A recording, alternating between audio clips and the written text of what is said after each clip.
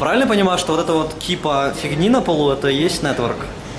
Ну, скажем так, им просто дали систему готовую с, со свечами, которые, у которых пропускная способность не позволяет им просто включить все в интернет.